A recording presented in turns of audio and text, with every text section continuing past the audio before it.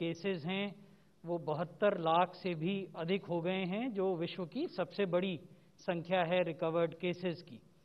साथ ही हमने देश में 10 करोड़ से ज़्यादा टेस्ट कर लिए हैं। हमारा जो रिकवरी रेट है, वो 90 प्रतिशत से अधिक हो गया है। और जो क्यूमुलेटिव पॉजिटिविटी रेट है, उसकी डिक्लाइन या उसमें जो गिरावट है, वो लगातार बनी हुई है। और आज जब हम आपसे बात कर रहे हैं तो देश में cumulative positivity rate 7.61 percent one percent है।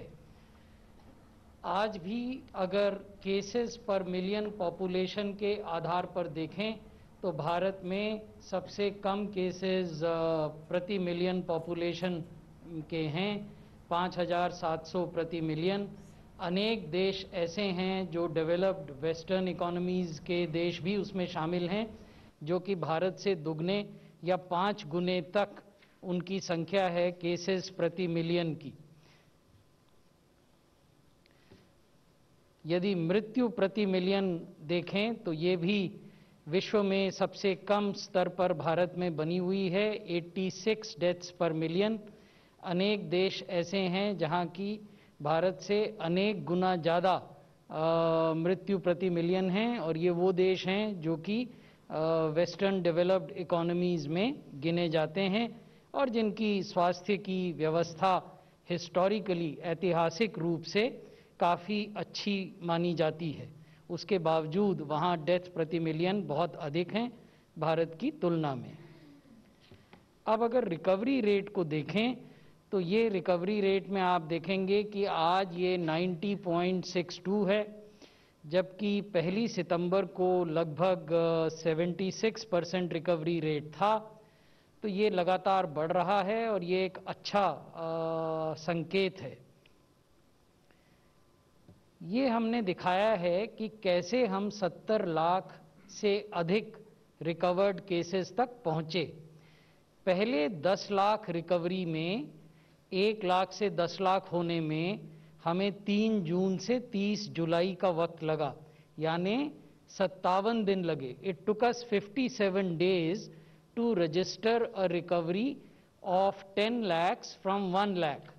However if we look at the latest 10 lakhs अगर हम सबसे रीसेंट uh, 10 लाख की रिकवरी को देखें तो ये 11 अक्टूबर से 24 अक्टूबर के बीच में हो गई, यानी 13 दिन में ये 10 लाख रिकवरी हुई। So compare to the first 10 lakh recoveries which took us 57 days the latest 10 lakh recoveries have taken us only 13 days. So this is also a satisfactory sign. If we look at decline in case fatality rate, अगर हम मृत्यु दर को देखें तो इसमें भी लगातार गिरावट हो रही है। ये एक दशमलव सात सात प्रतिशत था पहली सितंबर को, और अब ये घटकर एक दशमलव पाँच शून्य प्रतिशत हो गया है। जैसा हम समय समय पर आपको बताते हैं, अनेक राज्य ऐसे हैं देश के और संघ शासित क्षेत्र ऐसे हैं जहाँ मृत्यु दर एक दशमलव पाँच शून्य से भी कम है। यदि हम देखें कि पिछले पाँच सप्ताहों में औसतन प्रतिदिन होने वाली मृत्यु की संख्या में क्या ट्रेंड दिखाई दे रहा है तो आप ये देखेंगे कि 23 सितंबर से लेकर 6 अक्टूबर तक 1000 से ज़्यादा मृत्यु प्रतिदिन रिकॉर्ड की जाती थी कोविड से, और अब ये संख्या लगातार घट रही है। और जो पिछला सप्ताह है, जो 21 अक्टूबर से 27 अक्टूबर का सप्ताह है उसमें औसतन 615 मृत्यु प्रतिदिन दर्ज की गई so this is a important trend if we look at uh, the first two weeks from 23rd September onwards, the average daily new deaths were always more than 1,000. However, this has come significantly down, it has declined. And if we look at the last week, which is 21st October to 27th October, the average daily deaths are only 615.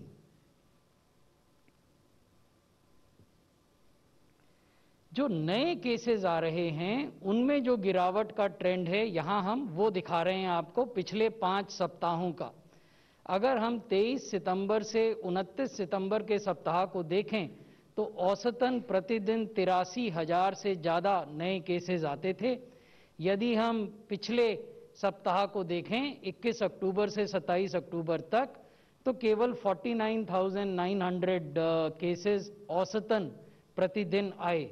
यहाँ मैं आपको ये चीज़ भी बताना चाहूँगा कि पिछले 24 घंटे में ये तो हम साप्ताहिक दिखा रहे हैं आपको और सप्ताह के आधार पर जो औसत प्रतिदिन केस आ रहे हैं वो दिखा रहे हैं। अगर पिछले 24 घंटे के आप केसेस देखें तो वो छत्तीस हज़ार चार सौ सत्तर हो गए हैं। तो वो संख्या भी घटी है। यहाँ एक ध्यान देने की बात यह है कि जिन सप्ताहों में ये गिरावट का ट्रेंड देखा गया है, उन सप्ताहों में जो हमारी औसत प्रतिदिन टेस्टिंग है, उसमें गिरावट नहीं आई है। और अगर आप वो देखें तो पिछले पाँच सप्ताह के औसत के आधार पर हम प्रतिदिन अभी भी औसतन 11 लाख टेस्ट करते हैं। तो औसतन प्रतिदिन 11 लाख टेस्ट करने के बाद अगर इस तरह के नंबर आ रहे हैं तो ये ट्रेंड अपने आप में सिग्निफिकेंट है। मैं यहाँ पे ये भी आपको बताना चाहूँगा कि अगर हम टेस्ट प्रति मिलियन देखें, क्योंकि हम डेथ प्रति मिलियन की बात करते हैं, केस प्रति मिलियन की बात करते हैं तो टेस्ट प्रति मिलियन में पिछहत्तर हज़ार छह सौ से अधिक टेस्ट हम प्रति मिलियन इस देश में कर रहे हैं। तो उसमें भी काफ़ी बड़ी इंक्रीज हुई है। ये एक्टिव केसेस के डिक्लाइन होने का ग्राफ है जिसमें आप देखेंगे कि सितंबर के पहले सप्ताह में सात लाख पिचासी हज़ार एक्टिव केसेस थे। ये वो केस हैं जो अस्पताल में हैं या होम आइसोलेशन में हैं। फिर ये बढ़ते गए और 18 सितंबर के लगभग इनफैक्ट 17, 18 और 19 तीन दिन ये 10 लाख से ज़्यादा एक्टिव केसेस लगातार रहे। फिर इनमें गिरावट शुरू हुई और अब छः लाख पच्चीस हज़ार आठ सौ सत्तावन एक्टिव केसेस हैं। अब कुछ राज्यों की बात हम करना चाहेंगे। ये दस राज्य हैं और यूनियन टेरिटरीज हैं जिनमें कि अभी भी कुल एक्टिव केसेस के 78 प्रतिशत केसेस हैं। ये क्यूमुलेटिव आंकड़ा है, यानी हिस्टोरिकल आंकड़ा है, प्रारंभ से लेकर अब तक जितने भी केस आए, उनमें जो अभी भी अस्पताल में या आइसोलेशन में बने हुए हैं तो वो 21 प्रतिशत से ज़्यादा एक्टिव केस केवल एक राज्य में हैं, महाराष्ट्र में हमने संख्या भी दी है उनकी, एक लाख चौंतीस हज़ार से कुछ ज़्यादा एक्टिव केसेस हैं, और 15 प्रतिशत जो एक्टिव केसेस हैं वो केरला में हैं। उनकी संख्या भी हमने दी है, तिरानवे हज़ार से कुछ ज़्यादा हैं। 12 प्रतिशत एक्टिव केसेस कर्नाटक में हैं और उसी प्रकार से अन्य राज्यों में हैं जिनकी संख्या हमने आपको दिखाई है। अब इसी तरह का अगर ट्रेंड हम मृत्यु में देखें तो जो छियासी प्रतिशत कुल मृत्यु हैं, वो इन दस राज्यों में हो रही हैं जिनके आंकड़े हम आपके साथ शेयर कर रहे हैं। ये भी क्यूमुलेटिव आंकड़े हैं हिस्टोरिकल आंकड़े हैं, प्रारंभ से लेकर अब तक जो मृत्यु हुई है, उसके आंकड़े हैं। तो कुल मृत्यु जो कोविड से हुई, उनकी 36 परसेंट से ज़्यादा मृत्यु केवल एक राज्य में, महाराष्ट्र में हुई। उसकी संख्या हमने आपके साथ साझा की है, तिरतालीस हज़ार से कुछ ज़्यादा संख्या है। तमिलनाडु में 9 प्रतिशत से अधिक मृत्यु हुई, कर्नाटक में भी 9 प्रतिशत से अधिक मृत्यु हुई और उनके आंकड़े भी हमने आपको ये प्रदर्शित किए हैं। लेकिन ये तो हिस्टोरिकल फिगर है। हमें ये भी देखना है कि पिछले 24 घंटे में देश में क्या हो रहा है, क्योंकि उससे भी पता चलता है कि कहाँ इन्फेक्शन कैसे बिहेव कर रहा है। हो सकता है कि कुछ राज्यों में हिस्टोरिकल बर्डन ज़्यादा रहा हो, लेकिन पिछले कुछ दिनों में तस्वीर बदली हो तो वो भी हम आपसे साझा करना चाहते हैं। ये वो पाँच राज्य हैं जहाँ पिछले 24 घंटे में देश में कुल हुई मृत्यु के अट्ठावन प्रतिशत मृत्यु हुए। महाराष्ट्र में चौरासी वेस्ट बंगाल दूसरे नंबर पर 59, दिल्ली तीसरे नंबर पर 54, छत्तीसगढ़ चौथे नंबर पर 43 और कर्नाटक पाँचवें नंबर पर 42 तो ये चिंता की बात है और इन राज्यों से हम लगातार संपर्क में हैं। हमने इनमें से अनेक राज्यों में अपने केंद्रीय दल भेजे भी हैं, कुछ वापस आ रहे हैं अपना काम पूरा कर कर, और कुछ अभी भी राज्यों में हैं। तो जब ये वापस आ जाते हैं तो इनसे जो रिपोर्ट्स प्राप्त होंगी, उसके आधार पर पुनः हम राज्यों के साथ अपना संपर्क स्थापित करेंगे और उनको बताएँगे कि अब स्ट्रैटेजी में क्या परिवर्तन करने की आवश्यकता है। यदि परिवर्तन की आवश्यकता है, वैसी स्थिति में। तो ये एक महत्वपूर्ण बात थी, तथ्य था जो हम आपसे शेयर करना चाहते थे। पिछले 24 घंटे में जो नए केस आए तो कहाँ सबसे ज़्यादा आए? 49.4 परसेंट नए केसेस पाँच राज्य और यूटीज में आए पिछले 24 घंटे में। केरल में सबसे ज़्यादा आए, चार हज़ार दो सौ सत्तासी। दूसरे नंबर पर पश्चिम बंगाल में आए 4121 तीसरे नंबर पर महाराष्ट्र में तीन हज़ार छः सौ पैंतालीस, चौथे नंबर पर कर्नाटक में तीन हज़ार एक सौ तीस और पाँचवें नंबर पर दिल्ली में दो हज़ार आठ सौ बत्तीस। तो ये नए केसेस का केरल वेस्ट बंगाल महाराष्ट्र, कर्नाटक और दिल्ली में आना भी चिंता का विषय है और इनमें से जो तीन मुख्य राज्य हैं, उनके साथ तो हम परसों ही एक विमर्श कर रहे हैं केरल और वेस्ट बंगाल और दिल्ली के साथ, महाराष्ट्र और कर्नाटक के साथ हम इसी सप्ताह में विमर्श करेंगे ताकि इसके बारे में भी एक रणनीति बनाई जा सके। तो इस परिप्रेक्ष्य में ये जो आंकड़े हमने आपको दिखाए, हमारा क्या मानना है? हमारा मानना है कि ये बहुत ज़रूरी है कि हम फ़िज़िकल डिस्टेंस बनाकर रखें ये बहुत ज़रूरी है कि सब लोग हर समय मास्क पहने। ये भी बहुत ज़रूरी है कि लोग अपने हाथों को साबुन से लगातार धोएँ। और दो गज की दूरी मास्क है, ज़रूरी का जो मंत्र है, उसका सब पालन करें। हमने ये पाया है कि फेस्टिवल के दौरान जो अभी हमने आपको स्लाइड दिखाई, केसेस बड़े हैं, केरल में बड़े हैं, वेस्ट बंगाल में बड़े हैं, महाराष्ट्र, कर्नाटक और दिल्ली में बड़े हैं। तो इसलिए ये जो सिद्धांत हैं इनका पालन करना और अधिक आवश्यक हो जाता है। धन्यवाद। धन्यवाद सर। मैं इनवाइट करता हूँ member health NITI Aayog doctor Paul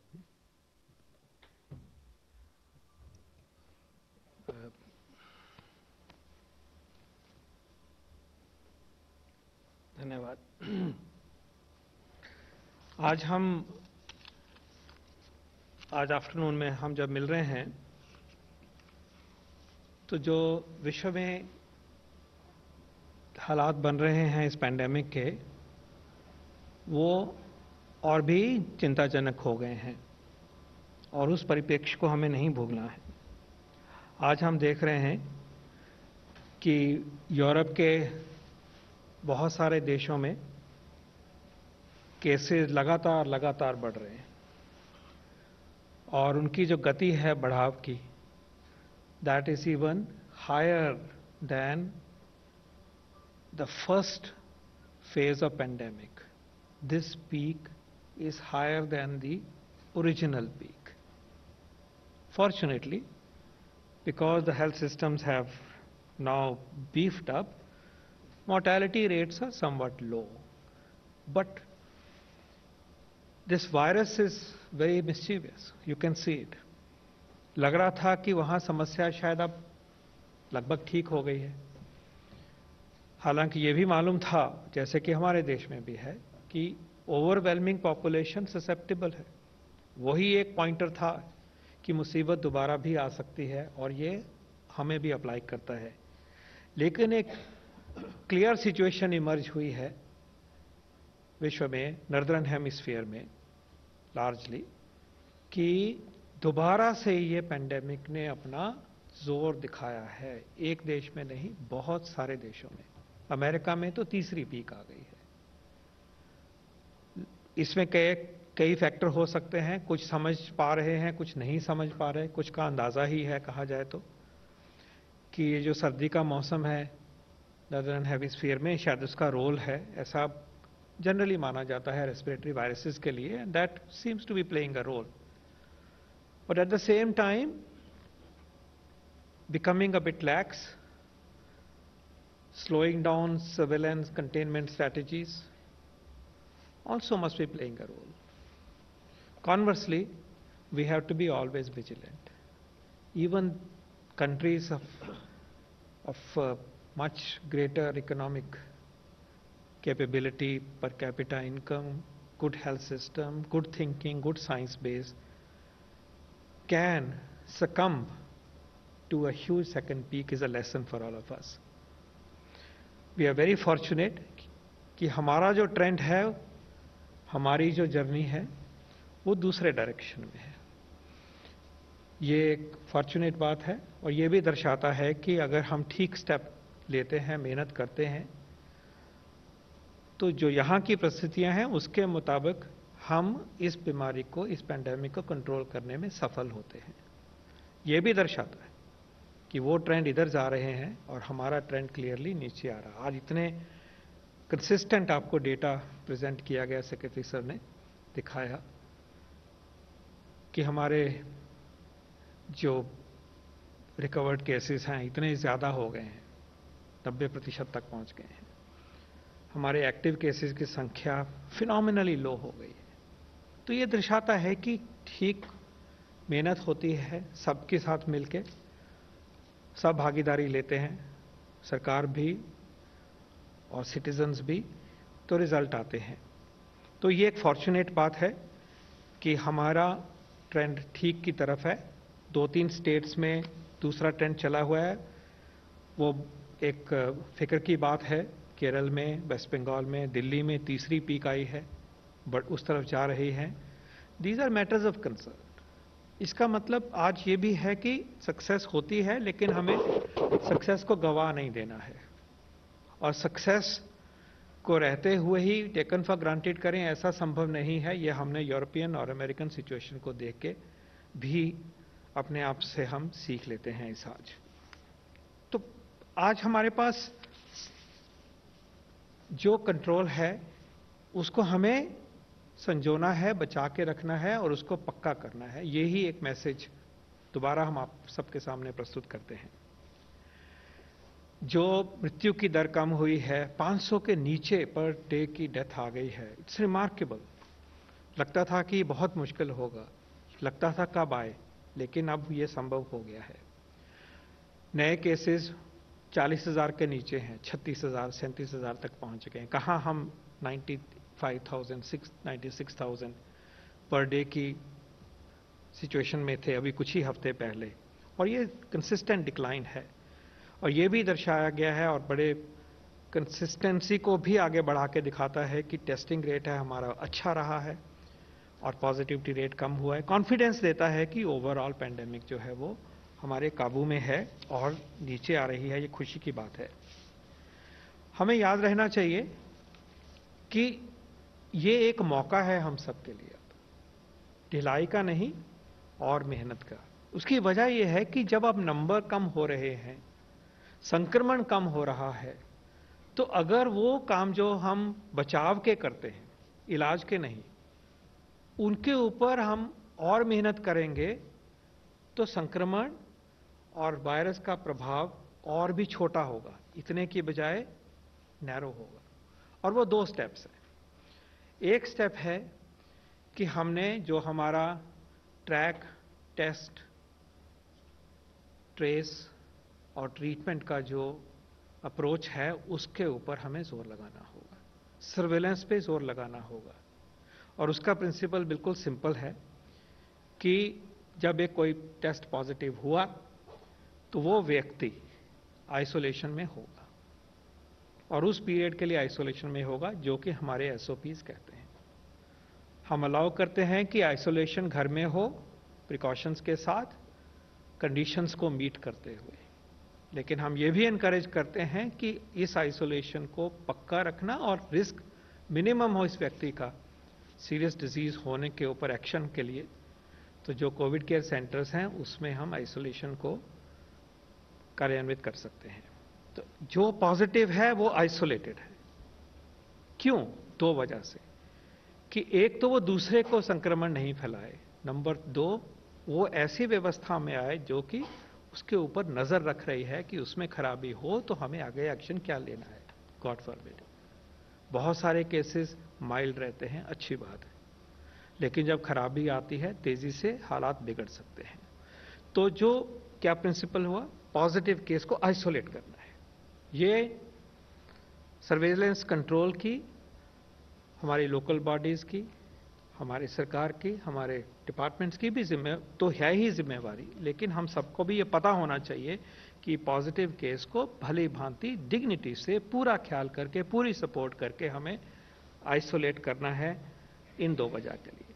लेकिन दूसरा स्टेप इक्वली इंपॉर्टेंट है कि जिन कॉन्टैक्ट्स को वो व्यक्ति का साक्षात्कार हुआ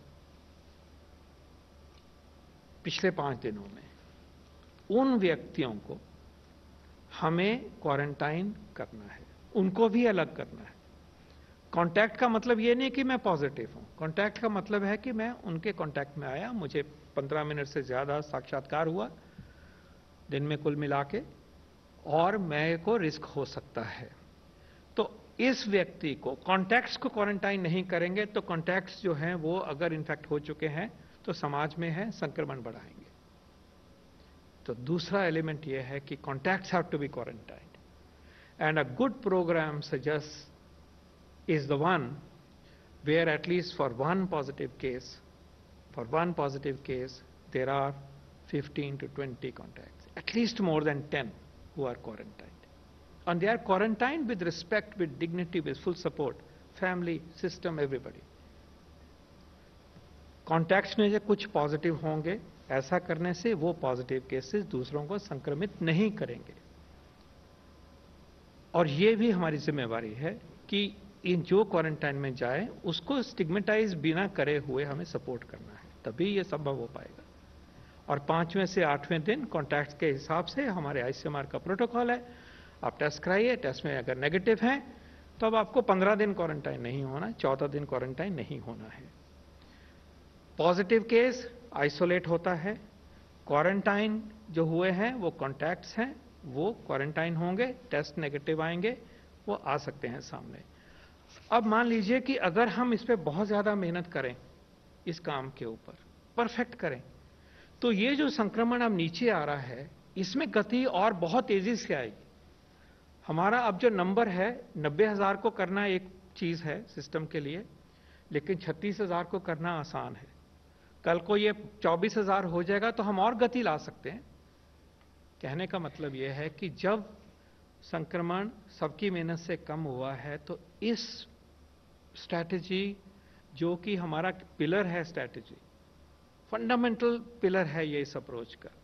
इसके बिना तो बढ़ता ही है ना, अपनी मर्ज़ी पे है। अगर हम करेंगे तो हमारा संक्रमण और नैरो होगा, छोटा होगा, दब जाएगा चेंज ऑफ़ ट्रांसमिशन हमारे काबू में आएँगे और हम ये जो चलता हुआ है, बिल्कुल नीचे तक ला के संभव कर सकते हैं। तो मेरी विनती ये है कि इसमें जो जो गवर्नमेंट है, उसका रोल है डिपार्टमेंट्स ऑफ़ हेल्थ का रोल है लोकल बॉडीज का रोल है म्यूनिसपैलिटीज का रोल है, हम सब का रोल है कि इस इस चीज़ को हम निभाएँ कि जो पॉजिटिव है, वो आइसोलेटेड है एज पर प्रोटोकॉल जो उसके कॉन्टैक्ट्स हैं वो क्वारंटाइंड हैं एज पर प्रोटोकॉल और उनकी टेस्टिंग हो और वो वापस आएँगे, ये हमें करना है, ये उनके लिए भी अच्छा है। और दूसरी अप्रोच इसके साथ अब ये जुड़ रही है कि हमें ये भी देखना है कि जो टेस्ट पॉजिटिव हुआ, वो कहीं क्लस्टर में तो नहीं था, ये नई सोच बनती जा रही है अब। थोड़ा पीछे हट के देखना होगा कि ये पिछले चार दिन, पाँच दिन पहले, आठ दिन पहले क्या ऐसी जगह तो नहीं था जहाँ पे कोई ग्रुप था? तो वो ग्रुप भी हमारी नज़र में रहना चाहिए। उसमें से भी जो कॉन्टैक्ट हुए हैं, उनको हमने क्वारंटाइन करना है। थोड़ा सा पिछली तरफ़ नज़र डालने की ज़रूरत पड़ती है। इसलिए देखने के लिए कि ये कहीं क्लस्टर में तो नहीं था, कोई सुपर स्प्रेडिंग इवेंट का हिस्सा तो नहीं था। मैं चाहूँगा कि इसको भी सब हम सोचें और इसको भी हमने अपनी जो स्ट्रैटेजी है, उसमें सम्मिलित किया गया है। तो looking for a super spreading event in the case of an individual positive case is an important area of our work and we are learning that super spreading events happen when we are together not only in very large numbers but also in medium numbers where infection can spread from 1 to 7 people of course there are super spreading events where it spreads to 50s and, and more so we have to be mindful that A, such super spreading events are avoided. And secondly, when we are looking at our strategy to control, then we take note of this. और इसके बाद ये prevention की बात हो रही है आज। तो एक प्रिवेंशन का कि एक से दूसरे को ना जाए। लेकिन प्राइमरी प्रिवेंशन की वही बातें हैं जिनका ज़िक्र अभी राजेश भूषण जी ने कहा करा कि हमें उस जद्दोजहद में जुड़ना है उस जन आंदोलन में जुड़ना है कि हम अपने कोविड अप्रोप्रिएट बिहेवियर के बारे में कोई भी ढिलाई नहीं अपनाएँगे। इस मंच से इसकी चर्चा पहले भी हुई है बार बार हुई है। 8 अक्टूबर से खास एफर्ट किया गया। उसके पश्चात माननीय प्रधानमंत्री जी ने संबोधन किया सब देशवासियों के साथ। और फिर मन की बात में फिर दोबारा उन्होंने हमें याद दिलाई कि ये जो तीन हमारे प्रिंसिपल्स हैं कि हमें मास्क पहनना है, हमें दो गज की दूरी बना के रखनी है और हमें अपने हाथ को हाथों को धोना है, स्वच्छ रखना है सैनिटाइज करके रखना है, इन तीन प्रिंसिपल्स को हम अपनाएँ। तो हम प्रिवेंशन कर रहे हैं। जब बचाव प्रिवेंशन नहीं हो पाता तो इलाज की बातें होती हैं और डॉक्टर भार्गव कुछ बताएँगे हमें कि नई चीज़ों की तरफ़ हम कैसे बढ़ रहे हैं। तो जब प्रिवेंशन की बात हो रही है तो ये दो प्रिवेंशन की अप्रोचेज हमारे हाथ में है कोविड अप्रोप्रिएट बिहेवियर जन आंदोलन की तरह। दूसरा है कि शुरुआत हुई है तो उसको दबाओ ताकि आगे ना बढ़े फर्दर प्रिवेंशन सेकेंडरी प्रिवेंशन हो उस चीज़ की। उसकी बात मैंने करी है, उसके भी ढिलाई नहीं हो सकती और कोविड अप्रोप्रिएट बिहेवियर को भी अपनाने में कोई ढिलाई हम नहीं करेंगे। उत्सव के दौरान, उत्सवों के दौरान हमने देखा है कि जनता ने प्रधानमंत्री जी की रिक्वेस्ट को सुना और काफ़ी हद तक संयम दिखाया। ये बहुत बड़ी बात है और देश ने करके दिखाया ये। हमें उसको कंग्रेचुलेट करना है, उसकी सराहना करनी है, लेकिन ये भी याद रहे कि अभी ऐसे उत्सव और भी आने वाले हैं। अभी काफ़ी चैलेंजेस आगे भी आएँगे और अगर हम इसमें फॉल्टर हुए हैं और जितने भी हुए हैं, इसका नतीजा अभी 10-12 दिन 8 दिन के बाद 10 दिन के बाद पता चलेगा, क्योंकि संक्रमण को प्रकट होते होते 7-8 दिन 10 दिन का एक वक्फा होता है।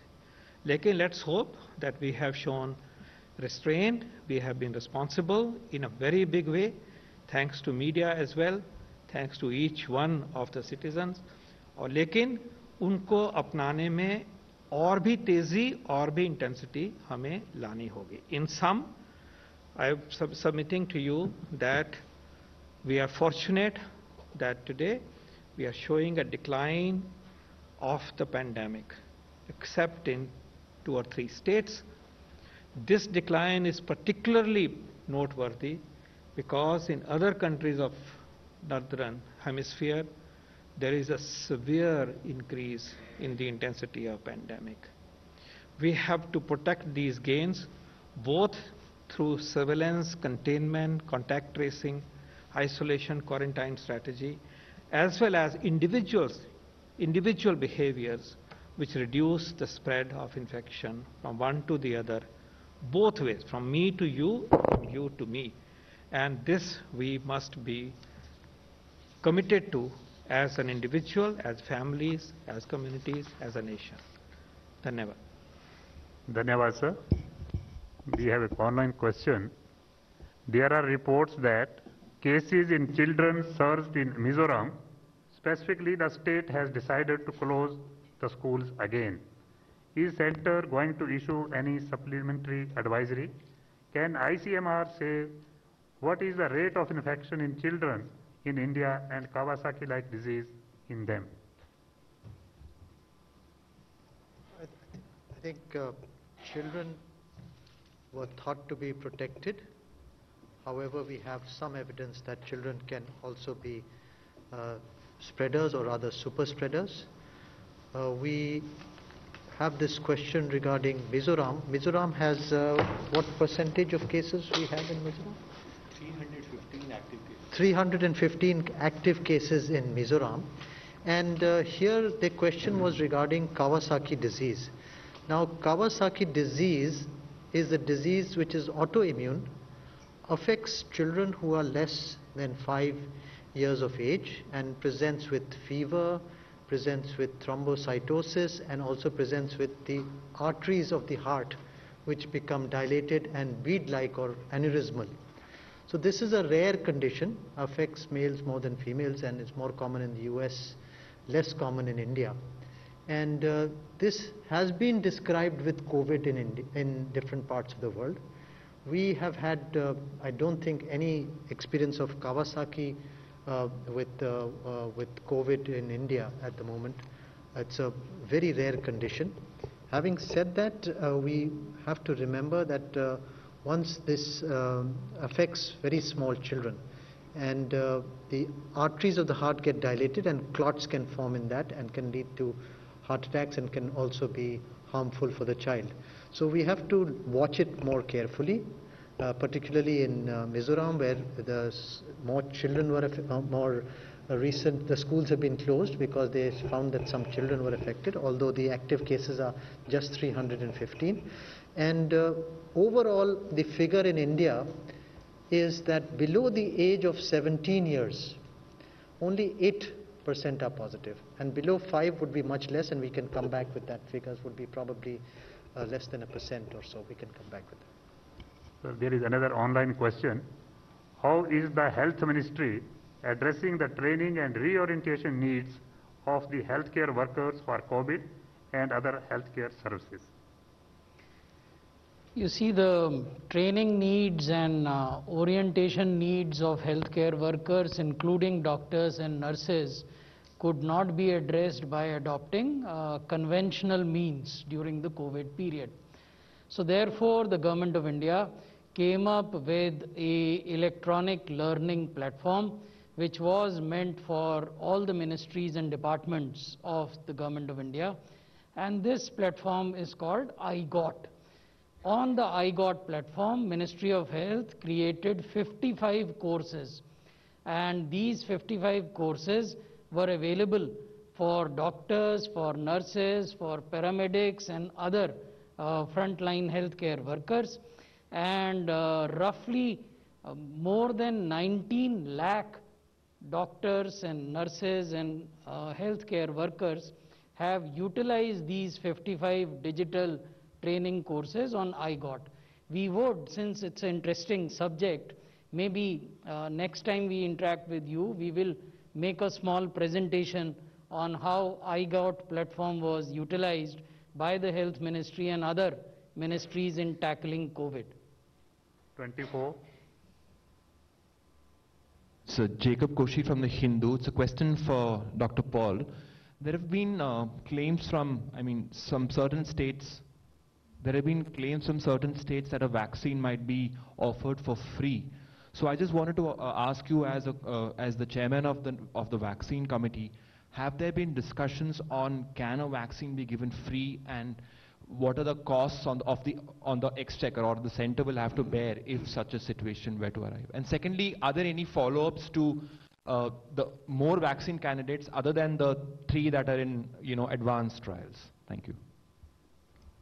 I'll ask Dr. Bhargav to respond to the second part, maybe an update. But let, let's say, you know, uh, a vaccine uh, scenario is a dynamic scenario because uh, we still don't have any single vaccine in the world which has been licensed for use after phase 3.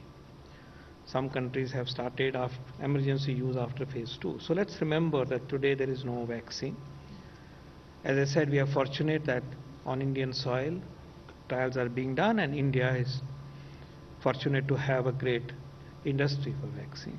Having said that, we are working uh, in the committee that you referred to to look at our approach toward vaccine scale up and vaccine implementation as and when the vaccine, effective, safe vaccines become available.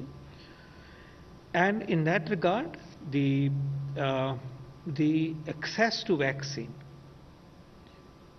will be in such a way that if the vaccine supply is not, you know, like unlimited, prioritization has to be done and the prioritization principles will determine based on the availability of the vaccine who should be getting those vaccines. Those principles are being evolved and being discussed.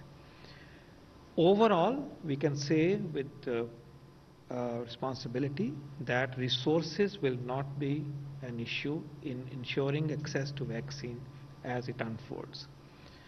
Uh, we have uh, requested the state governments to wait for uh, overall picture to become clear and to take a national approach toward engaging the companies and uh, deciding the, uh, the criteria for vaccines, etc. So the state governments have made these statements. They should be respected.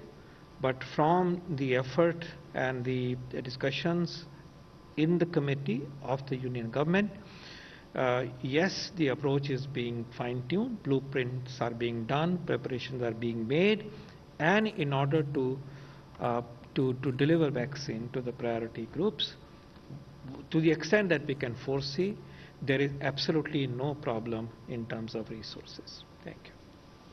256. Yeah. Any more news? Uh, There are uh, three candidates which are in the uh, different stages of clinical testing, uh, and we are aware that uh, one of them, the Covaxin, is in, uh, uh, got approval for phase three, and they will start the phase three very soon. They have completed their phase one, they have completed their phase two, they are collecting the samples of the phase two uh, patients, uh, and that should complete in uh, this week. The Cadila is also progressing with their phase two, and they will be applying for their phase three as, as soon as they are ready for that. The Serum has, uh, is in the process of completing its phase 2B and 3 trial, but they are also having the phase 3 trials being done in Brazil, South Africa, and the United States. They have the UK uh, MRC said that the phase 3 results can be pooled from these three, and then they will come back with that results of that. So that should happen. Uh, we're looking forward to that. In terms of other candidates on the Indian soil, there are four or five more candidates which are in the uh, preclinical testing and evaluation, and uh, they will be rolled out into phase one, phase two, as and when they are ready. आ, मेरा सवाल doctor Paul से है sir इधर आ, मैं जानना चाहता हूँ कि जो वैक्सीन को लेकर कोल्ड चेन बनाने की बात है मेंटेन करने की बात है उसमें क्या तैयारी चल रही है और क्या एकदम प्राइमरी लेवल तक उसको कैसे पहुँचाया जाए सही तरीके से उसकी व्यवस्था हो गई है? कोल्ड चेन के बारे में जो नेशनल एक्सपर्ट ग्रुप है उसके भीतर एक सब ग्रुप बनाया गया है। जो कोल्ड चेन की आवश्यकताओं को देख रहा है। वर्तमान में भी जो हम यूनिवर्सल इम्यूनाइजेशन करते हैं उसमें 28,000 से ज़्यादा लोकेशंस पर हम कोल्ड चेन की सुविधा का इस्तेमाल करते हैं और ये 28,000 से जो ज़्यादा जगह हैं जहाँ कोल्ड चेन की सुविधा का इस्तेमाल अभी केंद्रीय सरकार कर रही है ये सब सरकारी सुविधाएँ हैं इनको इन्हांसमेंट कैसे किया जाए इनका स्ट्रेंथनिंग और कैपेसिटी ऑगमेंटेशन कैसे किया जाए इस पर भी काम चल रहा है 29. सर, मैं ब्रह्म प्रकाश हूँ, जी न्यूज़ से। मेरा सवाल है, दिल्ली को लेकर आपने बताया जिन पाँच राज्यों में मामले 24 घंटे में बढ़े हैं, दिल्ली में भी बढ़ रहे हैं तो दिल्ली में क्या वजह है? क्या टेस्टिंग दिल्ली में कम हो रही है या फिर कोई और वजह है? लोग पालन नहीं कर रहे हैं कोरोना प्रोटोकॉल का क्या वजह मानते हो? दूसरा, ऐसे कितने राज्य हैं जो कोरोना मुक्त हो चुके हैं? देखिए, सबसे पहले तो मैं आपका जो अंतिम प्रश्न है, उसी से शुरुआत करता हूँ। कोई अनावश्यक जोश या होड़ नहीं होनी चाहिए अपने को कोरोना मुक्त घोषित करने के लिए। जिन देशों ने ये किया, उन्होंने उसके दुष्परिणाम देखे। तो इसलिए हमारा सुझाव केंद्रीय स्वास्थ्य मंत्रालय के रूप में सभी राज्यों को और सभी संघ शासित क्षेत्रों को ये है कि जो टेस्ट, ट्रैक, ट्रेस और ट्रीटमेंट की स्ट्रैटेजी है, उसका पूरी सचेष्टता से पालन करें और जो सावधानी है, उसको उसमें कोई ढिलाई न बरतें। तो ये तो एक हिस्सा हुआ। दूसरा हिस्सा जो दिल्ली की बात है, उसमें मैं कुछ तथ्य आपको बता देता हूँ, कुछ और चीज़ें डॉक्टर पॉल बताना चाहेंगे, क्योंकि जून के महीने में जब दिल्ली में हालात चिंताजनक हुए थे तो केंद्रीय गृह मंत्रालय के नेतृत्व में जिस टीम ने दिल्ली के लिए स्ट्रैटेजी तैयार की थी, उस टीम का नेतृत्व भी डॉक्टर पॉल ने किया था। जब हम कहते हैं कि 24 घंटे में पाँच राज्यों ने इतने केसेस रजिस्टर किए या दर्ज किए तो उसमें किसी राज्य को न तो हम अच्छा कह रहे हैं और न बुरा कह रहे हैं। हम केवल ये कह रहे हैं कि जो क्यूमुलेटिव फैक्ट्स हैं या जो ऐतिहासिक तथ्य हैं, ज़रूरी नहीं है कि वो तथ्य पिछले 24 घंटे में या 48 घंटे में या बहत्तर घंटे में न बदले हों। तो जहाँ एक और हमें ऐतिहासिक तथ्यों को ध्यान में रखने की ज़रूरत है, वहीं हमें निकट इतिहास में क्या हुआ, उसको भी देखने की ज़रूरत है। You see at the end of the day we should not only look at cumulative figures and cumulative positivity rates and cumulative death we should also be looking at how these numbers are changing over last twenty four hours forty eight hours and seventy two hours because that gives us an indication of any fine tuning that is required in the strategy to tackle the pandemic. So. This is the context in which we look at these numbers. The idea is not to praise or to run down a state government or a union territory government. Having said that, let me also tell you that in case of Delhi, for three successive days, the new case numbers were 4,000 plus, as all of you know. Then the numbers have come down. It's not as if they have climbed up, you know, continuously. So last 24 hours, only 2,800 cases have been uh, reported. However, what is worrying for us is that the cumulative positivity that Delhi is reporting is 8.06%. If we look at the weekly positivity that Delhi is reporting, that is 7%. So therefore, these two things have to be seen in tandem. इन दो तथ्यों को एक साथ देखा जाना चाहिए। कितने नए केस आ रहे हैं और पॉजिटिविटी की दर क्या है? और जब आप दोनों चीज़ों को एक साथ देखते हैं तब आप इस तरह के प्रश्न कर सकते हैं कि दिल्ली में कुल कितने टेस्ट हो रहे हैं? उन टेस्ट्स में आरटीपीसीआर टेस्ट्स का अनुपात क्या है? उन टेस्ट्स में रैपिड एंटीजन टेस्ट्स का अनुपात क्या है? जो लोग रैपिड एंटीजन टेस्ट में सिम्टोमेटिक नेगेटिव हैं, क्या वो शत प्रतिशत आरटीपीसीआर टेस्ट से कवर किए जा रहे हैं कि उसमें कुछ लोग छूट जा रहे हैं? यदि छूट जा रहे हैं तो क्या वो लोग संक्रमण फैलाने की स्थिति में हैं? जो भी कंटेनमेंट एरियाज़ हैं, उनमें क्या house to house active case case search हो रही है कि नहीं हो रही? यदि हो रही है तो कहाँ पर और चीज़ों को बेहतर करने की आवश्यकता। तो ये सारी चीज़ें हैं। When we engage in a dialogue with a state government और a union territory administration these are the facts that we develop that we discuss and it's a open discussion where we learn from the state government's experience and state government learns from the scientific input और technical input that is given by specialists like Dr. Paul, Dr. Bhargav and Dr. Guleria who's not here. Dr. Paul, if you would want to add something to this. देखिए यहाँ तीन ही चीज़ें हैं जो कि number को determine करती हैं उसमें से पहली थियोरेटिकल है थियोरेटिकल कौन सी है क्या ये वायरस बदल गया जहाँ तक हमें समझ गए ऐसा वायरस में कोई बदलाव नहीं है क्या एनवायरनमेंट बदल गया हमें दिखाई दे रहा है कि विंटर आने से वायरस की जो मार जो है, ज़ोर है, वो ज़्यादा होता है वो हमें दिखाई दे रहा है। लेकिन कि ये relationship SARS CoV two virus के लिए अप्लाई होता है ये भी अपने में डाउटफुल है, लेकिन प्रिकॉशन लेके चले हैं। पोल्यूशन बढ़ी है, उसे इफ़ेक्ट बढ़ सकता है, ये भी हमने सुना है। तो एक तो चीज़ ये रख लीजिए जो कि इन अ वे पूरी तरह से हमें समझ में नहीं है। एक चीज़ पता है कि वायरस वही है जो देश में चला हुआ है। फिर हम दो ही चीज़ों पे वापस आते हैं, अगर नए केसेस बढ़ रहे हैं। तो पहली बात ये आती है कि क्या हम अपने अपने बिहेवियर्स उसी रफ्तार से अपने इंटेंसिटी बना के रखी है जितना कि करना चाहिए और जो संभव कर सके कि ये डिक्लाइन हो। तो उसमें हम कितना अपना रहे हैं? मुझे उम्मीद है कि पिछले कुछ हफ्तों में, दिनों में ये जो कोविड अप्रोप्रिएट इंडिविजुअल बिहेवियर्स है, उसमें बढ़ोतरी हुई है दिल्ली में, ये भी मान के हम चल सकते हैं। लेकिन क्या हम 100 परसेंट पे पहुँचे हैं 90 पे पहुँचे हैं? आंसर इज़ नो तो जब उसमें परटर्बेशन होती है तो हम ग्राउंड लूज करेंगे। और इसी प्रकार जो उत्सवों की वजह से इकट्ठा होने की जो टेंडेंसी हुई है, उसमें कमी आई है तो हमें नुकसान होगा तो।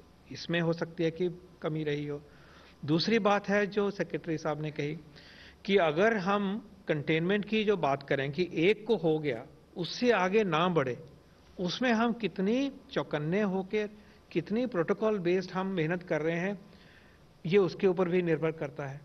आपको याद होगा कि पहली पीक के बाद जब दूसरी पीक जब पहली पीक के बाद डिक्लाइन हुआ ड्रामेटिक डिक्लाइन हुआ तो एक बहुत ही सशक्त तरीके से सर्वेलेंस कंटेनमेंट स्ट्रैटेजी को ज़ोर दिया गया था।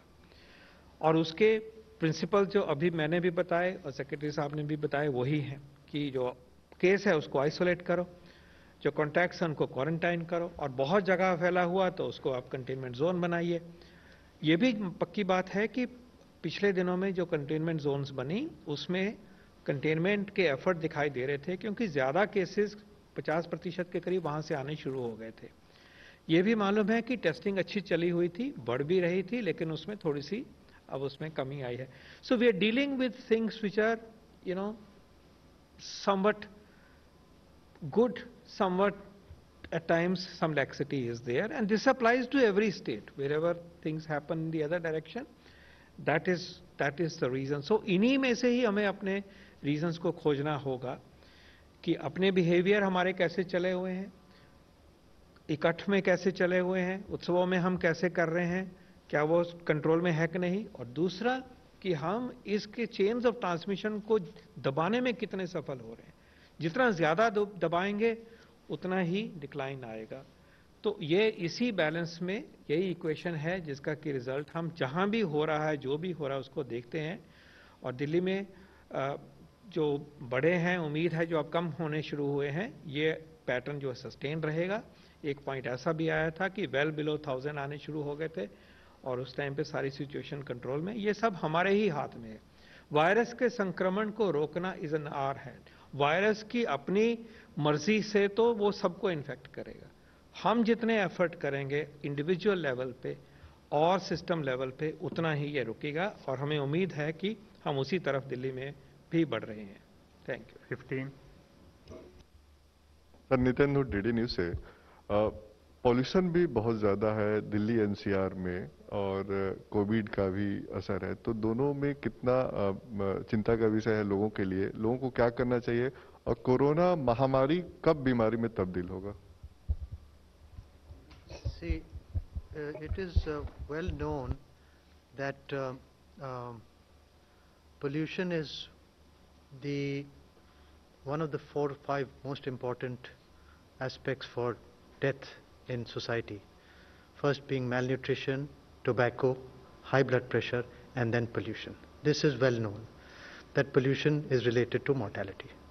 Is pollution related to COVID mortality? There have been some studies from uh, Europe and there have been some studies from the United States where they have looked at polluted areas and have compared the mortality during lockdown and correlation with pollution and found clearly that pollution is contributing to mortality in COVID-19. That is that was a press conference being addressed by the Union Health Ministry, Niti Aayog, as well as